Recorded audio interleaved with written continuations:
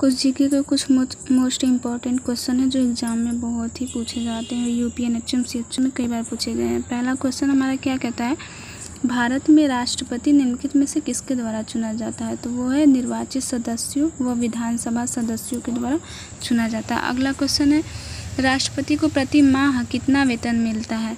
तो बताइए कितना वेतन मिलता है? इसमें चार ऑप्शन है, कोई एक ऑप्शन सही है, उस पर आपको टिक करना है। तो ऑप्शन नंबर सी, पाँच लाख वेतन मिलता है, ठीक है? पाँच लाख वेतन मिलता है। ऑप्शन नंबर सी को टिक करते हैं। अगला क्वेश्चन देखते हैं हम लोग। राष्ट्रपति को प्रति माह पेंशन के रूप में कितना रुपया मिलता है? ठीक है? तो कितना रुपया मिलता है? डेढ़ लाख रुपये मिलता है, ठीक है? वन पॉइंट फाइव लाख रुपये मिलते हैं। ऑप्शन नंबर डी हमारा सही है। ऑप्शन नंबर डी को हम लोग सही मानते हैं। अगले क्वेश्चन की तरफ़ चलते हैं, ठीक है?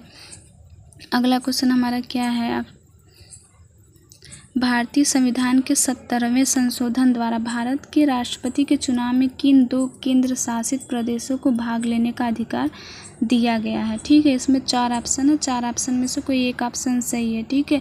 पहले ऑप्शन में है दिल्ली व चंडीगढ़, दूसरे में दिल्ली व पांडुचेरी तीसरे में दिल्ली व तथा दमन व दीव, चौथे में चंडीगढ़ तथा पांडुचेरी।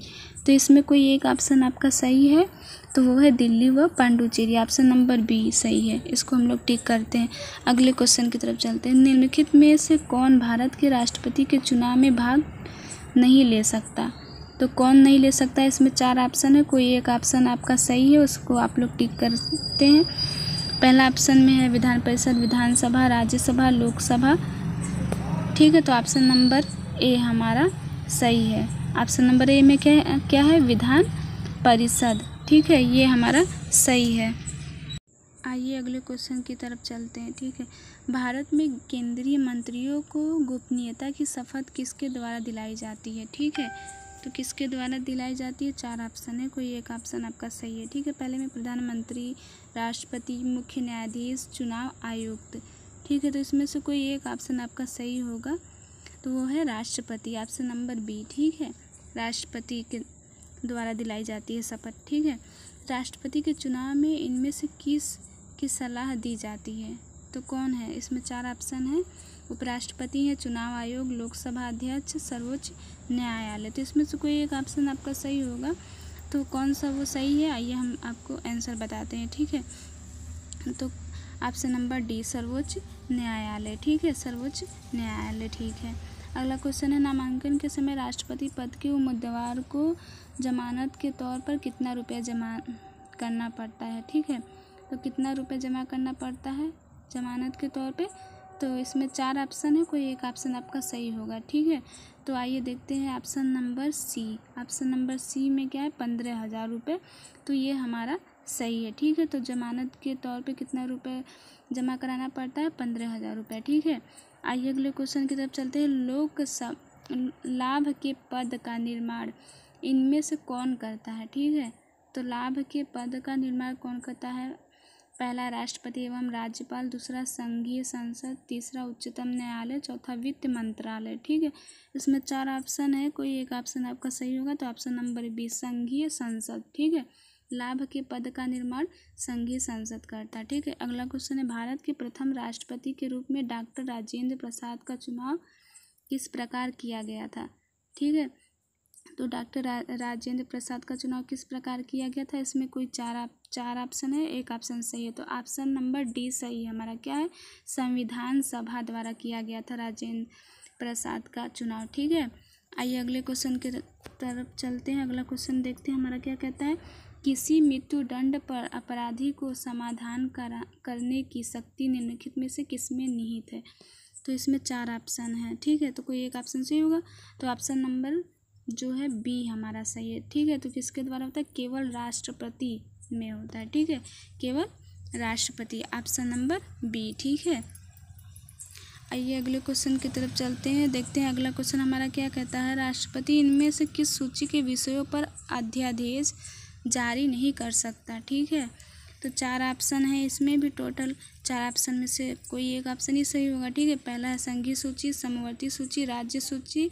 राज्य सूची व समवर्ती सूची। ऑप्शन नंबर डी में क्या दोनों दे दिया राज्य सूची तो नहीं। तो ऑप्शन नंबर सी सही है, ठीक है? राज्य सूची, ठीक है? सिर्फ़ सिर्फ़ राज्य सूची होगा।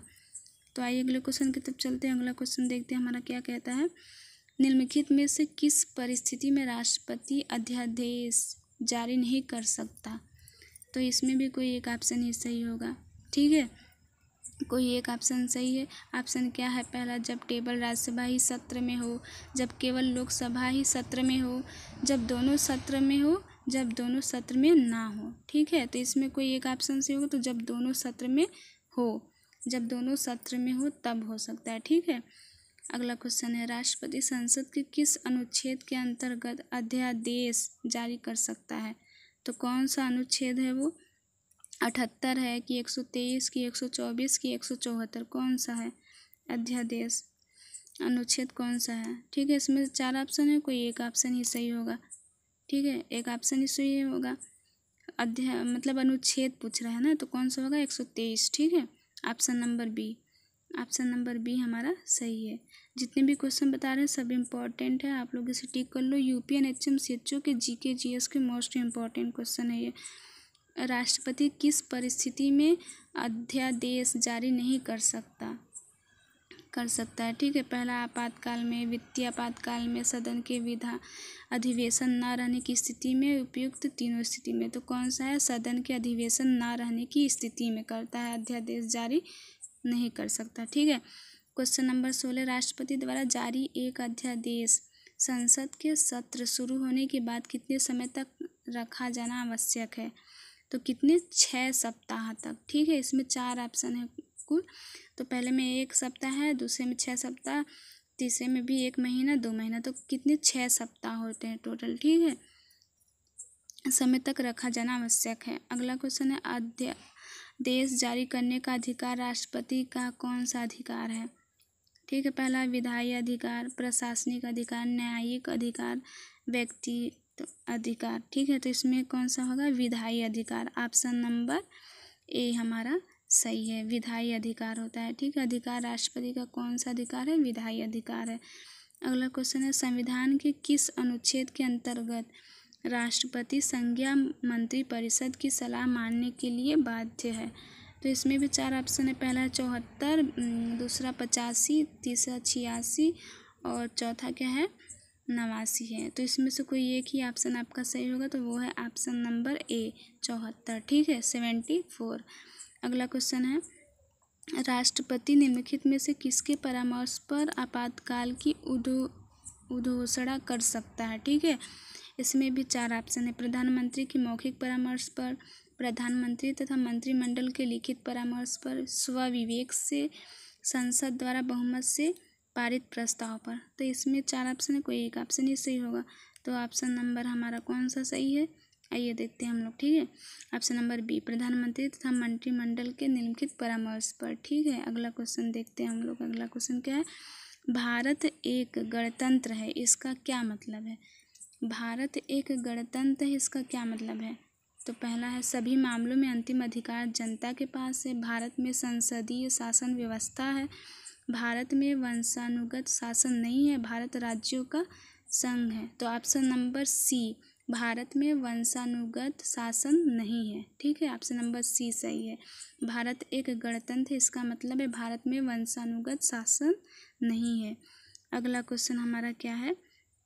आइए देखते हैं, ठीक है? अगला क्वेश्चन अब ये इतने, जितने भी क्वेश्चन आज मैंने कराए हैं, सब इंपॉर्टेंट है। आगे के क्वेश्चन आगे